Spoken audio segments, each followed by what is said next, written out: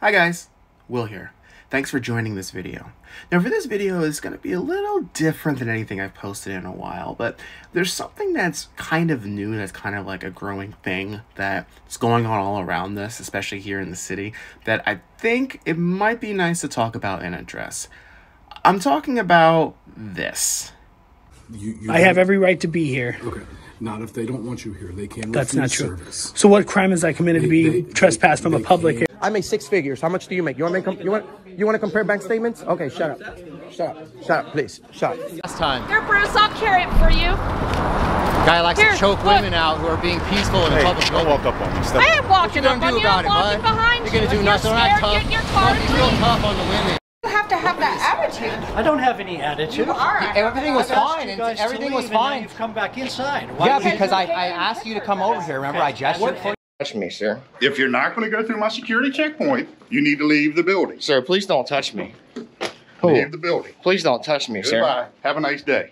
Why I'm did you just put your back hand? I'm not seeing any of you out there, and you, Flynn, organizing with the cops to go out and Sir, hold on. No cameras, no cameras, no cameras. Y'all Don't gotta touch step me. out. Don't touch me. Step out. Get out. Get Don't out. touch me, Get out. I don't Ain't- care Why you about touch- What just happened now? now? What what what did I just what does what what what what what's this? What What is this happened- now? What happened Talk to now? us. What did What you just what do? you- What what is what what did you just do? Okay, okay, okay, okay. I understand. If you're seeing that type of content for the first time, you're probably like, "What in the world did I just watch?" That it was one of the weirdest way to conduct myself in public I've ever seen.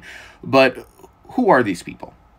These individuals are what society call First Amendment auditors. And I might be thinking, well, wait a minute, who even are these people? Like, what is it that they're doing? Why are they acting like this? Why are they recording people? Well, these, along with many questions, will be addressed in this video. But firstly, what exactly is a First Amendment audit? Well, this is a, a social movement that usually involves photography or filming from a public space a government official in their line of duty and or the police. Now, the intent of those that do so is they say that their goal is to keep those in a position of quote unquote power accountable to ensure that their constitutional rights are being respected as citizens, which there's really nothing wrong with, but they tend to film or photograph in government buildings, post offices, um, access control points in sensitive areas, as well as record law enforcement, the police, or military personnel.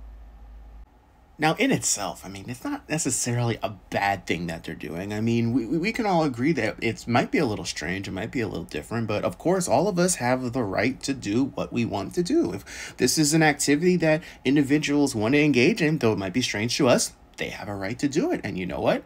Me personally, I strongly support that. But there's controversy that comes into specifically what these First Amendment auditors do, which we're going to explain. Typically, there's two type of controversies that come along with these quote unquote self-proclaimed civil rights leaders or activists or whatever they want to call themselves. One is their intent for these actions and how exactly they carry themselves. Now, their intent typically, let's just be honest, is for a monetary gain. They usually begin their videos by typically asking people to support their cause, to pay them money online, and typically when they're uh, confronted by their behavior, they usually like to begin by stating that this is their source of income, this is their work, and if they're paid to do something they have a passion for and it has to do with something they feel strongly about, I'm all for it. But typically, they're either unemployed or don't really have any other forms of income, and they use that as a weapon. I make six figures. How much do you make? You want to make? You want? You want to compare bank statements? Okay, shut up. Shut up. Shut up, please. Shut up. The second way these First Amendment auditors create controversy is their conduct. Now, their conduct while performing this audit has also been a major controversy because they choose to never act in a civil manner or really show any respect to anyone who notices or responds to their audits.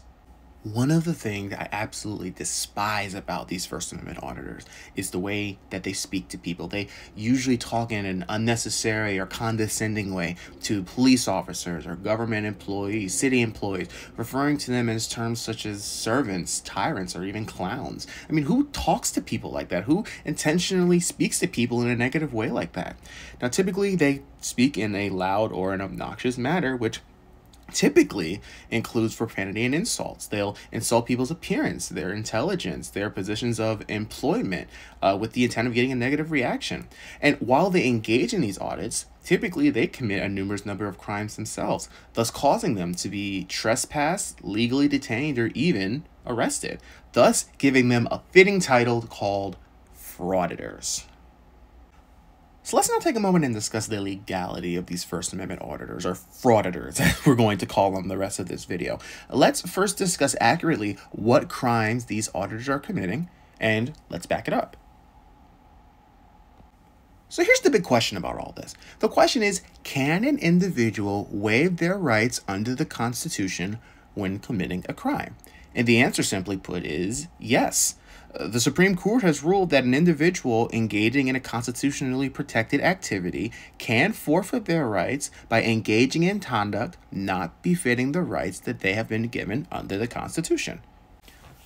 Now, we're going to back this up by looking at case law or state statutes. So this isn't just going to be some guy on the internet's opinion. This is actually going to be what the law actually says, which is something that these frauditors typically try to avoid. They think that the Constitution is a blanket. Well, it's not, unfortunately. You know, one might assume that. But when you actually look at case law, especially in this case, we see how the Supreme Court has actually ruled in the past about an individual waiving their constitutional rights. Now, this case, the Supreme Court um, in Illinois versus Allen from the year 1970. Now, I understand that the print is very small, so you may want to pause the video if you want to read it fully.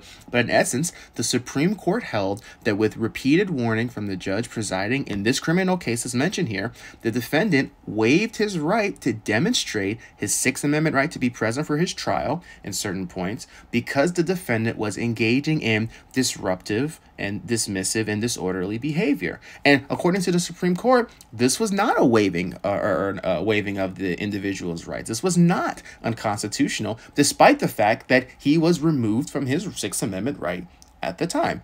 And there's other case law that indicates that the Supreme Court rules that an individual, by means of their conduct, can waive the rights that the Constitution grants them. So my reasoning on this is while these frauditors have the right to engage in these audits and record people in public buildings and in people in the public, because they choose to engage themselves in a combative, disruptive, and disparaging way, the police, who typically are called, and business owners are in the right to ask these engagers to stop engaging in this constitutionally protected act of free press and leave the premises or stop recording. Now I'm going to take a moment and discuss three statutes in particular that these frauditors blatantly disregard when performing these audits. Now, for me personally, um, I'm going to use Pennsylvania state statutes because that's where I live. Now, I know these frauditors, if any of them see this video and get angry, they're going to say, oh, oh, what's your address? What's your social security number so I can put it online and blah, blah, blah. That's BS. But we're going to discuss three specific Pennsylvania state statutes that they disregard. Number one, Title 18, Statute 2709 under harassment. And the statute clearly states that harassment takes place when one has the intent to harass or annoy any individual in the public or follows another person in or about a public place or conducts themselves with no legitimate purpose or in an anonymous matter. These are the steps that an individual that is conducting an audit when they engage in these type of activities, this is harassment. And this is probably one of the more nauseating things these frauditors do. They follow people around, clearly trying to harass them, clearly trying to get a reaction from them, following them from people trying to dismiss themselves from certain situations. And the worst part is, they never identify who they are or what they're doing when they're enter entering a building. They say, oh, I don't need to tell you my name. I don't need to tell you what I'm doing, which covers the anonymous portion of the statute and raises many security issues, as well as serves a harassment when they persist in following or engaging in disruptive behavior with employees or not saying what they're doing to people that have the right to know what they're doing in the building. It's unnecessary, but a common ploy that these frauditors use to create content for their viewers. The second statute we're going to discuss is Title 18, Statute 5503 under disorderly conduct. Now, again, I can't make it any bigger, forgive me, but if you want to pause the screen to verify what I'm saying is true, you can. But in essence, the statute is saying one engages in disorderly conduct with the intent to cause public inconvenience, annoyance, or engages in threatening behavior, makes unreasonable noise, which serves no legitimate purpose to the actor when located in any place or business or any premises that are open to the public. Now, public inconvenience is the most common um, amongst uh, those in, uh, demonstrating disorderly conduct because employees have, have to cease working or, or try to reason with these and police officers who have real criminals to try and detain have to waste their time with people like these guys with their mumbo jumbo. People have to wait in line. They have to wait for them to leave or take their business elsewhere in order to try and get out of the way of these First Amendment auditors. And, and this absolutely can be threatening with individuals when they're, in fact, one, again, refusing to say who they are, but then they still persist to stick their cell phones in people's faces and say, I'm doing this because I can. Now, tell me how that's not intimidation.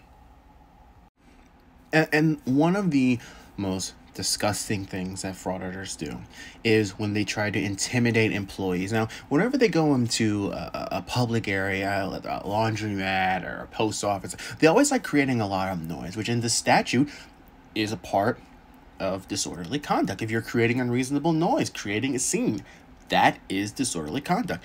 But especially when they begin threatening public employees, saying, I'll post your, your salary, I'll post your information, I'll do this and that. Like, all of these different things add up to the statute of disorderly conduct. And honestly, this is notorious for these frauditors.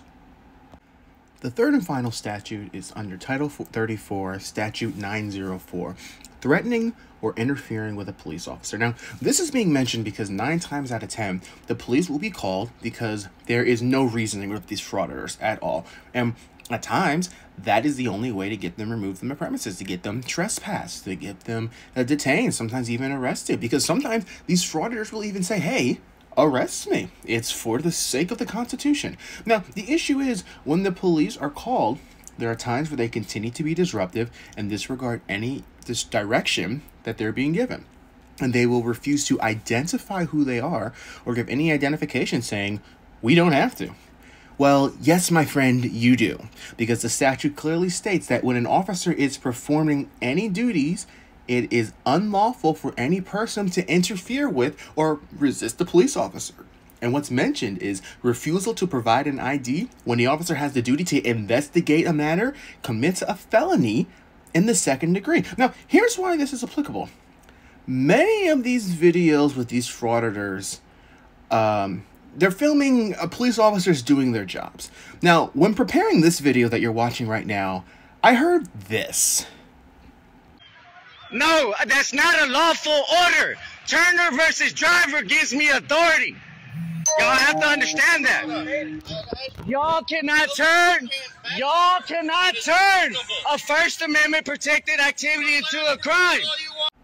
Actually, they can, because when you read Turner v. Driver, it clearly states that while, yes, there is a First right, uh, First Amendment right to record the police, that's protected, but it is subject to reasonable time, reasonable matter, and place restrictions. So if the frauditor is legit recording an officer while engaging in a traffic stop, a, a car accident, or searching a person of suspicion or anything of that nature, how is that considered to be a reasonable time or a reasonable nature to engage with them? So clearly, this is an inaccurate reasoning.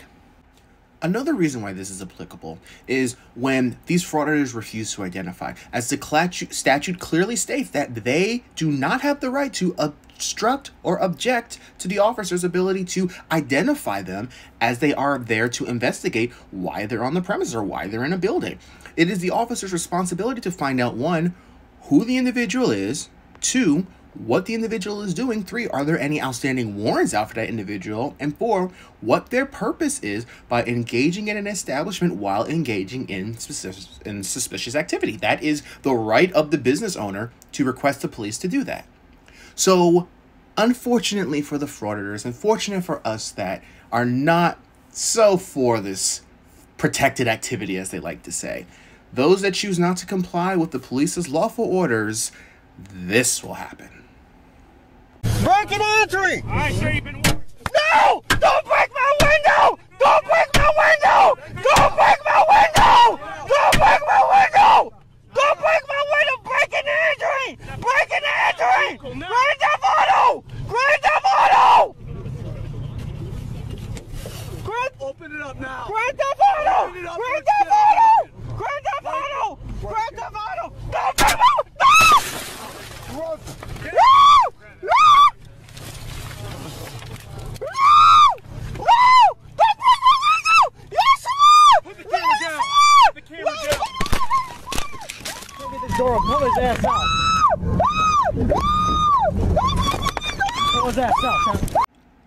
hope you guys enjoyed that young lady. I mean, I mean, man, um, demonstrating his First Amendment rights. But that's it for this video. Thank you guys so much for your support. I could go into greater detail, but this video took long enough to put together. If you like what you saw, please like and subscribe, and leave a comment in the comment section saying that you want a part two. If you want a part two, you'll get one. But until then, until next time.